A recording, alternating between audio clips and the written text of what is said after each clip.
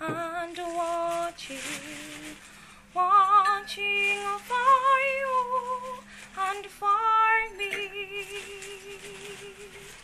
Oh.